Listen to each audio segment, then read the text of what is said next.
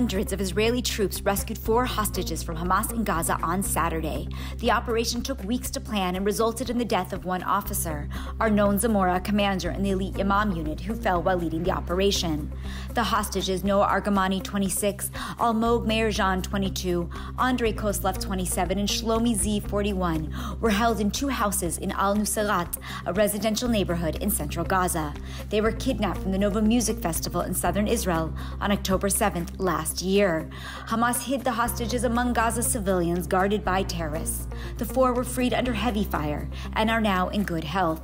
After the rescue, they reunited with their families following evaluation at Sheba Medical Center. Noah Argamani visited her mother, who has been hospitalized with advanced brain cancer at Tel Aviv Sourasky Medical Center. An earlier video showed Argamani reuniting with her father, smiling and embracing him. Argamani became one of the faces of the hostage crisis when footage of her abduction by two men on a motorbike emerged online. In the footage, a distraught Argamani shouts, Don't kill me! Argamani was kidnapped with her boyfriend from the festival. He remains captive. After their rescue, Prime Minister Netanyahu emphasized the country's commitment to freeing all hostages, and he accused Hamas of war crimes. He vowed to continue efforts to bring everyone home.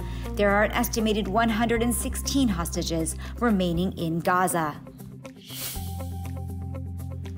After Israeli forces rescued the hostages, Hamas leader Ismail Haniyeh declared that Hamas would not surrender. He stated via a post on Hamas's official Telegram channel Our people will not surrender, and the resistance will continue to defend our rights against this criminal enemy. If the occupation thinks it can oppose its will by force, it is mistaken. Haniyeh accused Israel of massacring Palestinians in Gaza. The Hamas run health ministry reported at least 93 Palestinian bodies, including terrorists and civilians, were taken to the local hospital. However, the numbers published by the ministry have come under scrutiny, particularly in recent days, for their apparent inflating of the proportion of women and children killed during the war. Moreover, the Al Qassam Brigade's Hamas's armed wing claimed that some hostages were killed during Israel's rescue operation. The spokesperson said that the operation will now pose a great danger to the enemy hostages and will negatively impact their conditions and lives.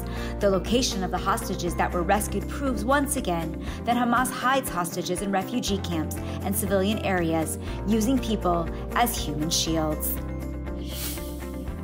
United Nations Secretary General Antonio Guterres has added Israel's military to a list of offenders for child violations, a move Israel's UN envoy Gilad Erdan called quote unquote shameful. Hamas and Palestinian Islamic Jihad are also included, a diplomatic source told Reuters. Erdan received official notification of the listing on Friday.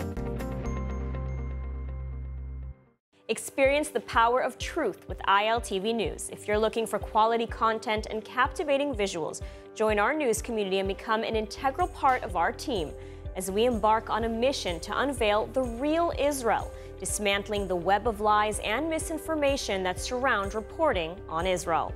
By subscribing to ILTV News, you will not only have access to the latest updates, but you will also amplify our message, creating a ripple effect that carries the truth far and wide. Subscribe today and help reshape the narrative. Available on the web, Android, and Apple.